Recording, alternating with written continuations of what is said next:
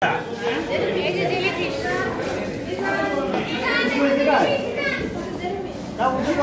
health care ministry বলেন এবং